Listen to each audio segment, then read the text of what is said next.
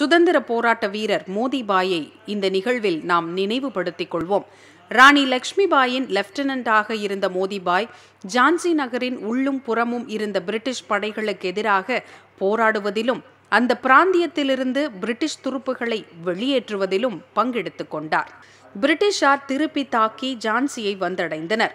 மோதிபாய் தலைமை தாங்கி ஆயிரத்தி எண்ணூற்று ஐம்பத்தி எட்டு ஜூன் நான்காம் தேதி ஜான்சி கோட்டையில் கிழக்கிந்திய கம்பெனிக்கு எதிராக போரிட்டார். ஆயினும் எதிரியின் துப்பாக்கி குண்டு அவர் மீது பாய்ந்ததால் மோதிபாய் அந்த இடத்திலேயே உயிர் விட்டார். மாபெரும் போராட்ட வீரரான மோதிபாய்க்கு நமது வீர வணக்கம்.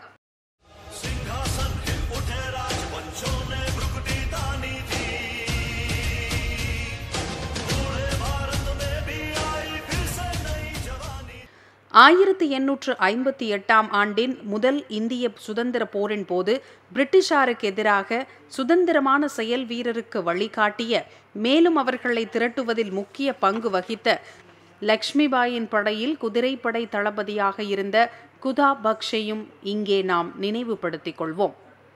ஜான்சி கோட்டையில் பிரிட்டிஷ் படையின் தாக்குதலை உறுதியுடன் எதிர்த்து போராடினாள் பக்ஷ்.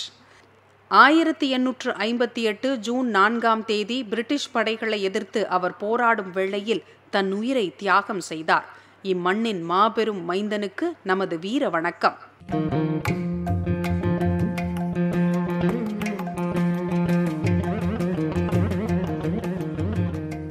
ஆயிரத்து தொள்ளாயிரத்து அறுபத்தி இரண்டாம் ஆண்டு ஜூன் நான்காம் தேதி உயிரிழந்த தேசியவாதி அச்சந்தா லக்ஷ்மிபதியை நாம் இங்கே நினைவுபடுத்திக் கொள்வோம்.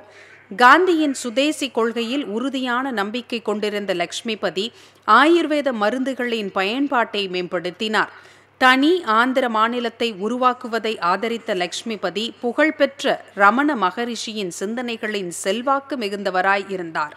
ஆந்திர பிரதேசத்தின் கோதாவரி மாவட்டத்தில் ஆயிரத்தி எண்ணூற்று எண்பது மார்ச் மூன்றாம் தேதி பிறந்தார் லக்ஷ்மிபதி. ஆயிரத்து தொள்ளாயிரத்து ஒன்பதாம் ஆண்டு சென்னை மருத்துவக் கல்லூரியில் மருத்துவ பட்டம் பெற்றார். வேதங்கள் புராணங்கள் மற்றும் ஆயுர்வேத பாடங்களை ஆழமாக கற்றபின் ஆயுர்வேதத்தின் பால் கவர்ந்து ஈர்க்கப்பட்டார் லக்ஷ்மிபதி. அந்த காலத்தின் புகழ்பெற்ற வைத்திய ரத்னாவாக திகழ்ந்த பண்டிட் கோபாலச்சாரியலுவின் சீடரானார் லட்சுமிபதி பின்னர் தன் வாழ்நாள் முழுவதும் அவர் ஆயுர்வேத மேம்பாட்டுக்காக அர்ப்பணித்துக் கொண்டார். சென்னை ஆயுர்வேத கல்லூரி மற்றும் திருவனந்தபுரம் ஆயுர்வேத கல்லூரியின் முதல்வராக இருந்தார். புகழ்பெற்ற ஆரோக்கிய ஆசிரமம் மற்றும் ஆவடியில் இருந்த ஆந்திர ஆயுர்வேத பார்மசியும் அவரால் உருவாக்கப்பட்டன. பிரிட்டிஷ் ஆட்சி காலத்தில் ஆரோக்கிய ஆசிரமம் கட்டுவதற்கு நிதி உதவி செய்ய சென்னை அரசாங்கம் ஒப்புக்கொண்டாலும் லக்ஷ்மிபதி பிரிட்டிஷ் அரசுக்கு பற்றுறுதி கொண்டவராக இருக்க வேண்டும் என்று நிபந்தனை விதித்தது. அத்தகைய உறுதிமொழி கொடுக்க மறுத்தார் லக்ஷ்மிபதி. உதவி செய்வதை அரசாங்கமும் திரும்ப பெற்றுக்கொண்டது மேற்கத்திய கல்வி முறை இந்தியாவுக்கு ஒரு இழப்பு என்று கருதினார் லக்ஷ்மிபதி. ஆயுர்வேத மருத்துவத்தின் பயன் விளைவில் மட்டும் மிகுந்த நம்பிக்கை கொண்டிருக்கவில்லை. ஆயுர்வேத தத்துவத்திலும் அதன் ஆன்மீகத்திலும் நம்பிக்கை கொண்டிருந்தார். ஆயுர்வேதத்தை சாதாரண மனிதர்களிடம் கொண்டு சேர்க்க முயற்சிகளை மேற்கொண்டார். அதற்காக பல நூல்களை வெளியிட்டார். ஆரோக்கிய பயணங்கள் நடத்துவதன் மூலம் அவர் ஆயுர்வேதத்தை பிரபலப்படுத்தினார். அதற்காக திரைப்படங்களை திரையிட்டார். பொம்மை கண்காட்சிகளுக்கு ஏற்பாடு செய்தார். ஆரோக்கியம் தொடர்பான பாடல்களை பாடினார். நோய்களுக்கு சிகிச்சை அளிப்பதை விட மக்கள் ஆரோக்கியமாக இருப்பதே மிக அவசியம் என்று கூறினார்.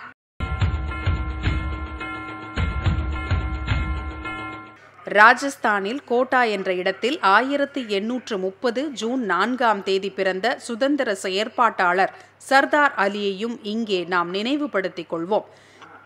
கோட்டா அரசு படையில் நாராயண பல்டானுக்கு உதவி அதிகாரியாக இருந்தார் அலி.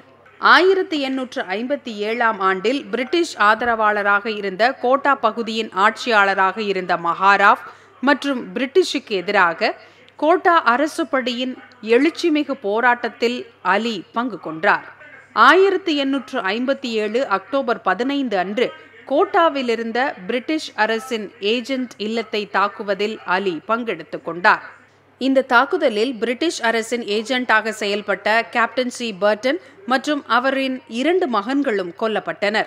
ஆயிரத்தி எண்ணூற்று ஐம்பத்தி ஏழு நவம்பர் மாதம் சர்தார் அலி கோட்டாவில் அமைந்த கோட்டையை தன் படையுடன் சென்று தாக்கினார்.